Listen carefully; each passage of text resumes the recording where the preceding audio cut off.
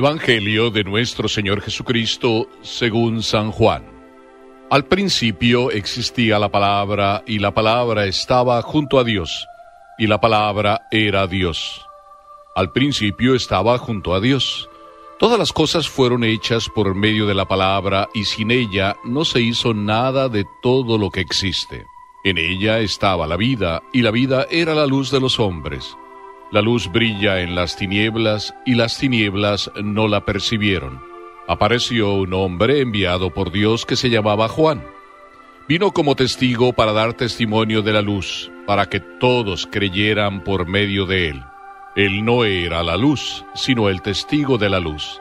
La palabra era la luz verdadera que al venir a este mundo ilumina a todo hombre. Ella estaba en el mundo y el mundo fue hecho por medio de ella, y el mundo no la conoció.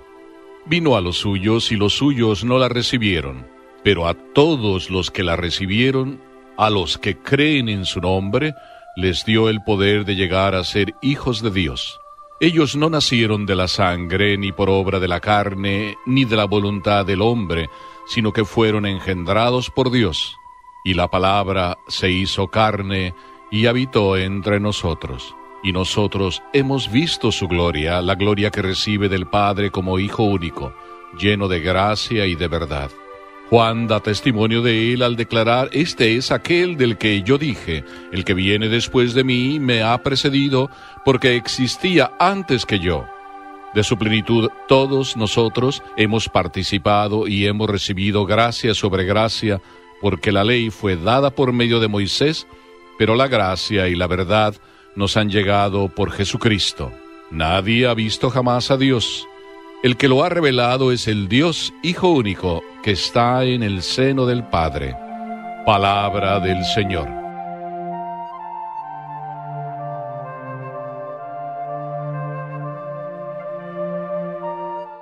Navidad, una realidad que requiere corazón. Gracias a la misericordiosa ternura de Dios, estamos viviendo este momento. Y este momento tan hermoso en el día de hoy, empiezo diciéndoles a todos ustedes, feliz Navidad, feliz Navidad de verdad en el corazón de cada uno de ustedes. Esto que hoy vivimos y que de alguna forma lo repetimos cada año, pero Dios no se repite. Los confines, hemos dicho en el Salmo, los confines de la tierra han contemplado el triunfo de nuestro Dios. Esto que el Salmo nos dice y que nosotros repetimos por varias veces hace un momento, los confines de la tierra han contemplado el triunfo de nuestro Dios, quiero traducirlo más bien en pregunta. ¿De verdad los confines de la tierra han contemplado el triunfo de nuestro Dios? O más bien, de verdad hace falta que todo mundo contemple el triunfo de nuestro Dios gracias a que cada uno de nosotros que estamos aquí hoy vivamos de verdad este momento tan maravilloso en la historia de cada uno de ustedes. Esta misma mañana repetíamos aquellas palabras que dijo Zacarías en un entusiasmo plenamente lleno del Espíritu Santo. Nos decía, por la misericordiosa ternura de Dios hemos visto la salvación. Y vuelvo a decir, por la misericordiosa ternura de Dios. Por eso la fiesta de hoy, la vivencia de esta experiencia de la nueva Navidad para cada uno de nosotros requiere misericordiosa ternura. Es decir, requiere poner corazón. Porque las verdaderas realidades, como dice San Exupéry en el libro El Principito, las verdaderas realidades solo se conocen con el corazón. Por eso la fiesta de hoy, de verdad eh, tenemos no solo que recordarla, sino recorazonarla, es decir, vivirla desde el corazón. Y para vivirla desde el corazón, en primer lugar, contemplemos, maravillémonos. Esta palabra, metámosla en nuestro corazón, maravillémonos. O si quieren ustedes, asombrémonos. ¿Por qué? Porque la palabra al principio existía ¿De qué nos maravillamos si al principio existía la palabra? De eso que la Sagrada Escritura muchas veces nos repite, maravillarnos de que Dios es fiel, Es fiel desde el inicio de la creación. Desde antes del inicio de la creación pensó en cada uno de nosotros y anticipadamente, puesto que su amor es fiel, también pensó en esto que hoy está sucediendo. Rescatarme, rescatarte, rescatarnos de todo eso que cada uno de nosotros es. ¿Qué somos muchas veces? ¿Tinieblas? ¿Oscuridad? ¿Pecado? Pero Dios es fiel.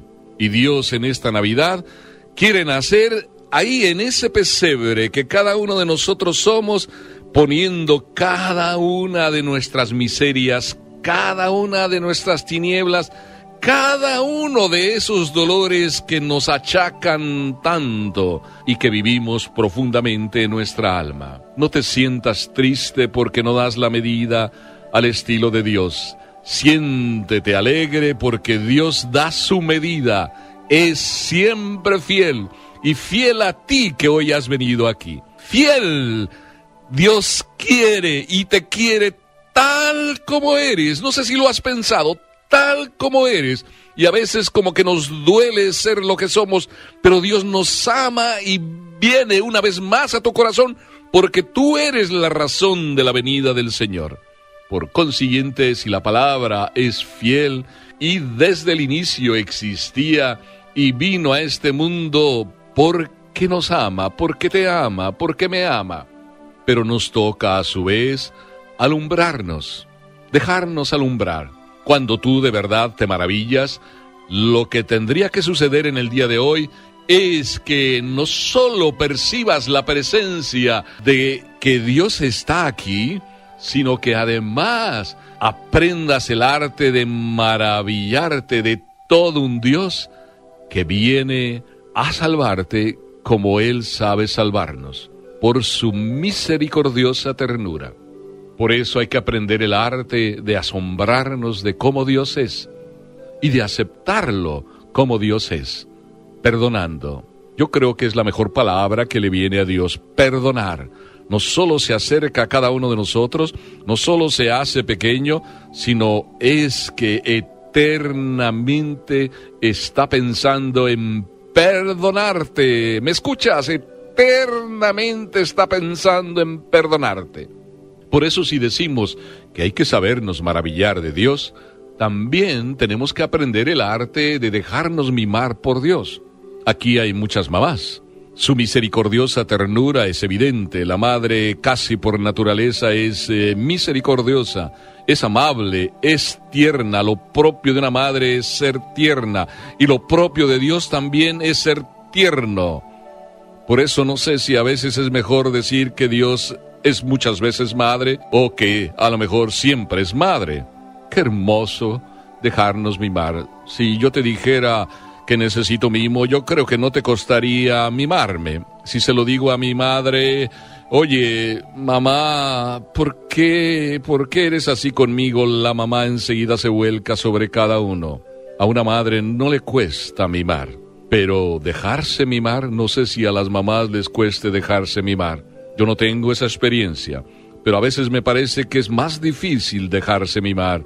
Y en el caso que nos corresponde hoy, en esta solemnidad del nacimiento de Dios en nuestro corazón, creo que lo que hay que aprender es a dejarnos mimar. Y a dejarnos mimar así como somos. Dios eh, no sé si es exacto decirlo, Dios quiere mimarte ahí donde tú estás golpeado, en tu propio pecado, en tu propia miseria, y quiere decirte, ánimo, ánimo, hijo mío, no te preocupes, te quiero precisamente porque has pecado, porque te has alejado, porque no has sido como yo esperaría que fueras, pero te quiero igual, como eres. Y finalmente, Qué hermoso también como Juan Bautista, que él dice, yo no soy la luz, soy solo testigo de la luz. Por tanto, cuando tú ya te has dejado mimar, cuando en tu vida ya la luz ha penetrado hasta el último rincón de tu corazón en el día de hoy, cuando sientes que Dios te perdona y en esa alegría que sientes eh, del perdón de Dios que infinitamente se derrama sobre ti y todo un Dios que es corazón entra en tu corazón porque tu corazón lo abres para que entre el corazón de Dios, entonces sé testigo de esta experiencia maravillosa. Por eso Navidad es una alegría vivirla.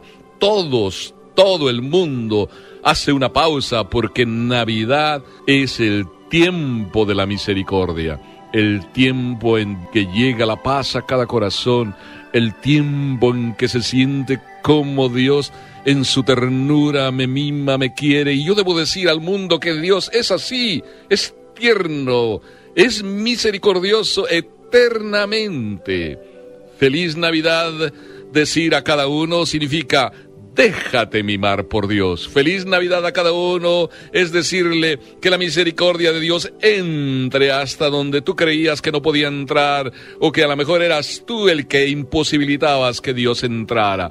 Y no solo eso, predicar a todo mundo cómo es este Dios que me ama y que ama a todo mundo. No en balde decíamos que los confines de la tierra han contemplado, que lleguen a contemplar la misericordiosa ternura de todo un Dios que eternamente está pensando en perdonar.